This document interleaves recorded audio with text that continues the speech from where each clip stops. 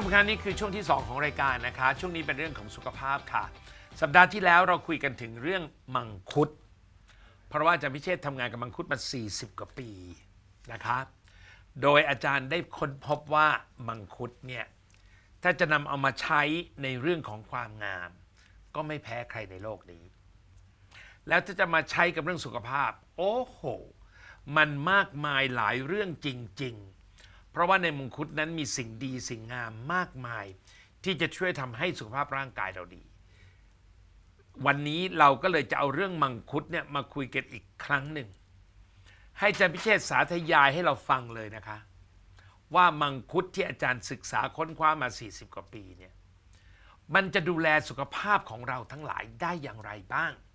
เพราะมังคุดเป็นสิ่งที่มีในประเทศไทย มังคุดเป็นผลไม้ไทยนะ ถ้าเกิดว่ามังคุดเป็นประโยชน์อย่างนี้นอกจากเราจะกินอร่อยแล้ว มันยังทำให้เศรษฐกิจดีด้วยและสุขภาพดีด้วยค่ะ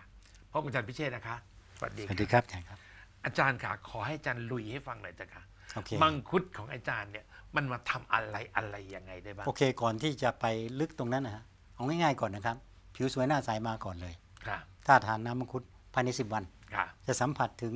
ผิวที่เนียนขึ้นนะครับ ทีนี้ เรื่องของการที่มันจะไปช่วยแก้ไขอาการผิดปกติของร่างกายค่ะก็เกิดขึ้นความสาจากความสามารถของน้ำมังคุดที่เรารับประทานเข้าไปแล้ว มันปรับการทำงานของเม็ดเลือดขาว ให้อยู่ในภาวะที่สมดุลมากขึ้นค่ะนะครับ ก็อย่างที่เราคุยกับท่านผู้ฟังมาตลอดเวลา ถ้าเราสามารถปรับภูมิคุ้มกันในร่างกายของเราให้สมดุลเราจะไม่เป็นโรคอะไรเลย ซึ่งก็เกิดขึ้นจากการทำงานของเม็ดเลือดขาวนี่แหละนะครับ อาการที่เราจะสามารถช่วยได้จากการปรับเอ่อ การทำงานของเม็ดเลือดขาวให้สมดุลก็คือ ข้อเข่าเสื่อมอาการเสื่อมทั้งหลายนะครับ ตาเสื่อมนะเอ่อเกาต์เอ่ออัลไซเมอร์ SLE สะเก็ดเกินรูมาตอยด์นะครับทีนี้เรามาดูแต่ละอาการว่ามันเกิดใช่ขึ้นยังไงอาจารย์เล่าเลยทีละอันประการแรกทีเดียวนะฮะปัญหาเรื่องข้อเข่าเสื่อมนะครับ ข้อเข่าเสื่อมเนี่ยก็ก็มีข้อมูลจากในเชิงวิทยาว่า มันเกิดขึ้นจากที่ร่างกายของเราเนี่ยสร้างสาร ที่มีภูมิคุ้มกันสร้างภูมิคุ้มกัน เยอะเกินไปอืมเยอะเกินไปนิดหนึ่งค่ะนะก็มักส่วนใหญ่มักจะเกิดขึ้นในผู้สูงอายุเอ๊ะทำไมเกิดขึ้นในผู้สูงอายุ ส่วนใหญ่ผู้สูงอายุเนี่ยร่างกายจะพยายามสร้างภูมิคุ้มกันให้มันเยอะขึ้น ในในบางรายเนี่ยถ้ามีการออกกำลังกายเพิ่มขึ้นมาผิดปกติ มันก็ไปเพิ่มมากเกินไป ก็ไปทำร้ายให้เกิดความเสื่อมมากขึ้น อันนี้เกินเกินสมดุลครับเกินสมดุล เราก็พบว่าเมื่อเราทดสอบ มังคุดในอาสาสมัครนะฮะให้ดื่ม 300 ml ต่อวันเป็นเวลา 15 วัน แล้วก็วัดดู เราจะพบว่าสารเหล่านี้มันลดลงทุกรายเลยทุกอาทุกอาการเลยอืมนะฮะที่เห็นเป็นลูกศรสีแดงชี้อะนะครับค่ะก็คือชี้อ่าสีส้มเนี่ยก็เป็นอ่าจากเลือดของผู้ที่ดื่มน้ำมังคุดของเราค่ะส่วนสีน้ำเงินก็ดื่มดื่มน้ำปกตินะครับจะเห็นว่าเมื่อต้นเหตุ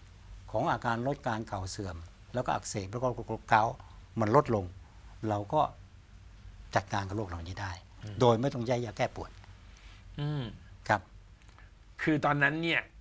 ภูมิคุ้มกันในร่างกายเราก็อยู่ในสภาพสมดุลใช่ครับ เพราะฉะนั้นก็ปัญหาข้อเข่าเสื่อมก็จะก็จัดการได้ค่ะตามธรรมชาตินี่เองอ่าอาการต่อไปครับ ปัญหาตาเสื่อมอ่านะตาเสื่อมนี่ก็เป็นอาการเสื่อมตามธรรมชาติแหละ ก็เกิดขึ้นเนื่องจากใช้สายตาเยอะเกินไปหลายหลายคนไม่เคยคิดเลยว่า ตาเนี่ยมันที่มันมีปัญหาก็เกิดขึ้นจากความเสื่อมนี่แหละอืมนะความเสื่อมของความเสื่อมความเสื่อมเนี่ยแล้วมันเกิดขึ้นจากอะไร จากการทำงานของเม็ดเลือดขาวนะอาจารย์ค่ะไม่มีใครทราบไม่มีใครเคยคิดว่า เอ๊ะเม็ดเลือดขาวไปเกี่ยวกับตาได้ไงค่ะก็เม็ดเลือดขาวสร้างสารที่ทำให้เกิดความเสื่อมเยอะเกินไป อย่างเช่นปรากฏเป็นตัวสีแดงเนี่ยนะครับ interleukin one beta interleukin 6 interleukin 17 TNF alpha แล้วก็ interferon gamma สารเหล่านี้ นักภูมิคุ้มกันวิทยาพิสูจน์แล้วว่าทำให้เกิดความเสื่อม แล้วก็เกี่ยวเนื่องกับความเสื่อมของดวงตาด้วยอืมเพราะสิ่งที่เราจะต้องทำนะฮะเราต้องลดสารเหล่านี้ลงมา ก็การทดสอบในอาสาสมัครนะฮะที่ใช้น้ำมังคุด 300 ml อยู่ 15 วันครับแล้วก็วัดออกมาแล้วก็พบครับที่กราฟที่เห็นเนี่ยที่ชี้นะครับ จะเห็นว่ามีทั้งสีฟ้าและสีแดงนะครับ แล้วก็ที่มันลดลงไปก็คือ ตรวจจากเลือดของคนที่ดื่มน้ำมังคุด เมื่อเปรียบเทียบกับคนเลือดของคนที่ดื่มน้ำเปล่าๆคือสีน้ำเงิน จะเห็นว่าไอ้ปัตัวที่เป็นมหามันลดมากกว่าลงลดลงครัลบดลงทุกรายครับนะครับแล้วก็ลดลงอย่างมีนัยสำคัญ อย่างเช่นเอ่อลดไป 18% 17% 23 45 52 แล้วก็ 50เอ่อแล้วก็ตัวสุดท้ายนี่ผมยังไม่พูดถึงนะครับ เพราะฉะนั้นมันก็สิ่งที่ทำเกิดขึ้นก็คือว่า เมื่อเราได้ข้อมูลเหล่านี้ จากอาสาสมัครที่เข้ามาในโครงการของเรา เราก็เลยเข้าใจว่าทำไมคนที่ใช้นวัตกรรมของเราน้ำมังคุดของเรา แล้วอาการตาทั้งหลายแหล่ที่เป็นปัญหาก็ดีขึ้นนะฮะปัจจุบันเนี่ยนอกจากวุ้นตาเสื่อมตาแห้งเอ่อตาฝ้าตาฟางเนี่ยฮะแล้วก็ต้อกระจกเนี่ยที่ที่ชัดเจนที่สุดที่คนชอบใจมากๆก็คือ จอประสาทตาเสื่อมค่ะเขาใช้น้ำมังคุดเนี่ยมีประโยชน์สูงมากครับ ได้ประโยชน์สูงมากเลยครับ อาจารย์แต่พอเราแก่แล้วเนี่ยนะจำหน้าคนก็ไม่ได้จำชื่อคนก็ไม่ได้ ครับ กินข้าวแล้วยังบางทีนะอาจารอืย์มขับรถไปบางที่นะพอไปถึงนี่มาทำไมวะเนี่ยอืม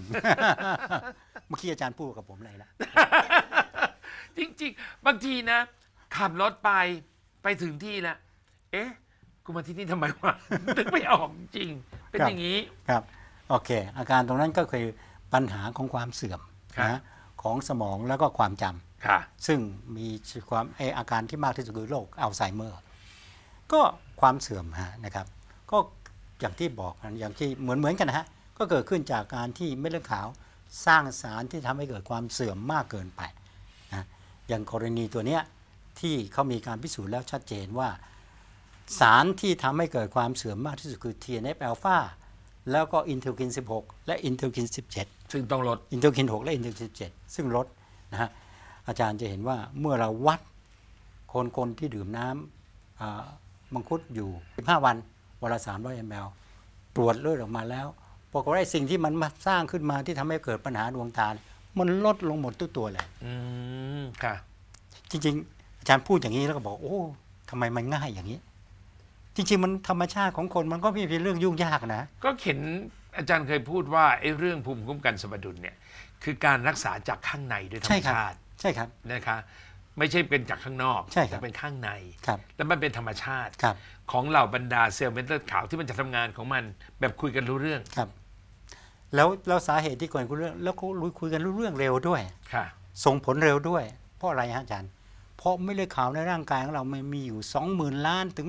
55,000ล้านเม็ดอืมกองทัพที่ยิ่งใหญ่มากเลย อาจารย์บอกให้มันทำตัวมันก็ส่งสื่อสื่อสื่อปุ๊บปุ๊บปุ๊บปุ๊บเฮ้ยเรามาช่วยกันส่งสารกัน แล้วทั้งกองทัพทำงานพร้อมกันค่ะมันประสิทธิภาพจึงได้เร็ว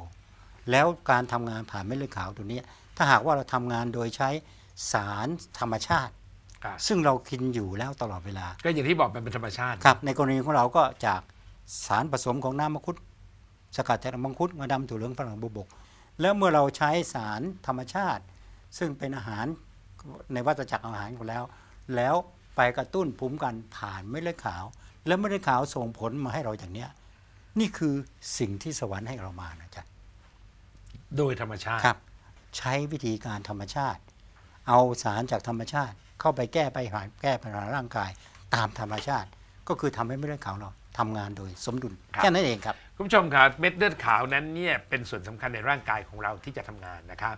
แล้วก็นวัตกรรมของอาจารย์พิเชษฐ์ซึ่งเป็นคณะ Operation BIM ที่ค้นคว้ามาเนี้ยทำให้เรานั้นเนี่ยสามารถที่จะระงับความเสื่อมต่างๆ ทั้งหลายได้ ซึ่งเรายืนยันนะคะ เป็นการรักษาโดยธรรมชาติที่เกิดขึ้นภายในร่างกายครับขอบคุณสวัสดีครับมากครับ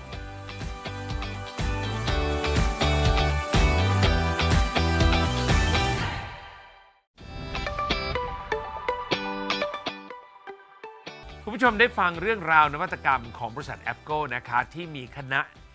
วิจัยที่เรียก Operation BIM เนี่ยเขาทำนวัตกรรมทางด้านภูมิคุ้มกันสมดุล ถ้าเกิดท่านสนใจเรื่องนี้และอยากจะรู้รายละเอียดเพิ่มเติมขึ้น ท่านโทรเข้ามาที่สายด่วน 1154 หรือไม่งั้นก็โทรไปที่ 026464800 เข้าไปอ่านเองก็ได้นะคะที่ w w w b i m a n e t c o m นะคะหรืออยากคุยไหมคะ ถ้าอยากคุยไปที่นั่นเลยค่ะ BIM Health Center มี 3 ที่ค่ะ ชั้น3นะคะ